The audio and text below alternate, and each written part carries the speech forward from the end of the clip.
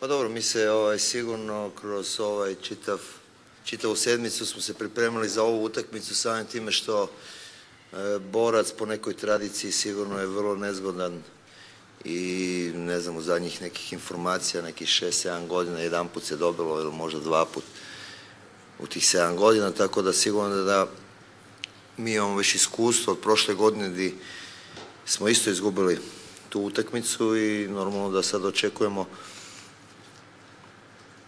jednu dobru utakmicu, sigurno će biti pun stadion, jednu dobru utakmicu i normalno sa našim happy endom, znači da mi pobjedimo i da mi odigramo jednu dobru utakmicu i da pobjedimo u, u Čačku jer nam je to sigurno uh, jedna važna utakmica samim time zato što bi bio to onda